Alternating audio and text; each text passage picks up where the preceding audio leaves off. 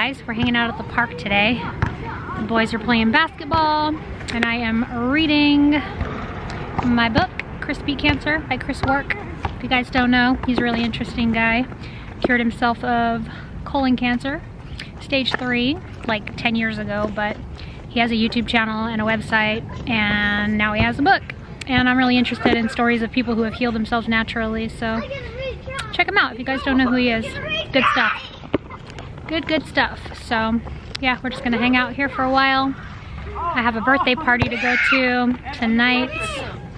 My friend Andrea's birthday. She's having it at, hopefully you can hear me. Sorry, they're yelling pretty loud. She's having her party at VegeNation, so I get to have some good food and hang out and see my friend who I haven't seen in like months. And actually, I don't think I've seen her in like a year. so it's been a long time. And I'll get to meet some new people, even though I have social anxiety. Makes me really nervous to go with a big group of people that I don't know, but pretty sure most of them are plant-based or vegan and hopefully there'll be, you know, a bunch of friendly people and I'll get to know some people. Maybe I'll make some friends because, you know, I don't really have any in real life. I don't have very many anyway that live here. So, uh, yeah, it's gonna be an interesting day for me.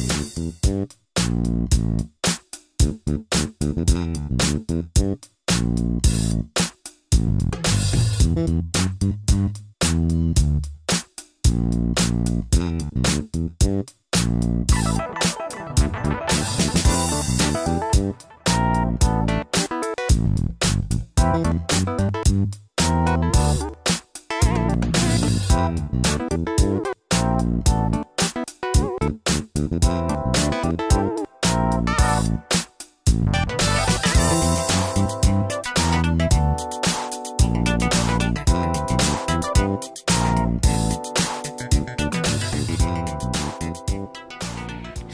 from the birthday party and uh, I actually think it went fairly well. I always feel really awkward and kind of weird talking to strangers.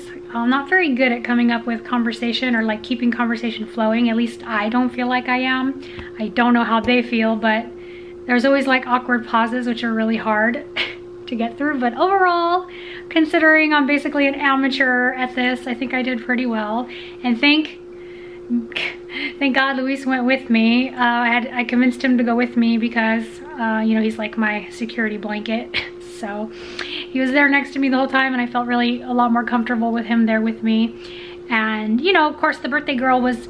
You know, she had to entertain and talk to everyone, so like I didn't get to talk to her that much. So I was like, please come with me in case I have no one to talk to and I'm just sitting there staring at my food. And so Luis was sweet and came with me and I freaking love him so much for that. and we're home now so I think it went well. Proud of myself for going because I usually back out and chicken out of situations like that. I felt really bad because she invited me one time to go to a painting party thing and I ended up having a stomach ache and not being able to go. And I and I was hoping that like she didn't think I did it on purpose to like you know what I mean? Like I didn't want her to think that I didn't go on purpose to flake out on her or whatever but um, luckily, she's really sweet and she was really understanding and um, that she was nice enough to go out of her way last night to invite me to her birthday party today. So I was like, oh, she still wants to see me. Think that's so nice. So I'm definitely gonna go. I can't, I can't like let my social anxiety get the best of me and back out this time because she was so sweet to personally go out of her way to message me on Messenger to ask her to, me to come to her birthday party, which was really sweet. So I had to go and I made the best of it and I think it went pretty well. So get out of your comfort zone, do something that scares you. Sometimes the situation turns out pretty good and you could actually, you know, meet some fun new people. I, I made a new Facebook friend out of it too. One of the girls that added me on Facebook. Now I have a new Facebook friend. That's awesome. So it worked out. So get out of your comfort zone, do something that scares you. And that's our little learned lesson for today. All right, well, Luis and I are just gonna hang out now and try to find a funny movie to watch. I don't know what we're gonna watch. I'm kind of out of ideas because uh, I've been going through movies with him for the last, I don't know, year, letting him watch all like the old 80s movies and things and 90s movies that he's never seen.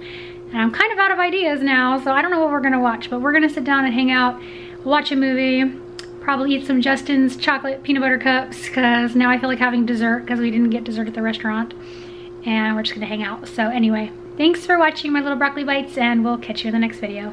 Bye!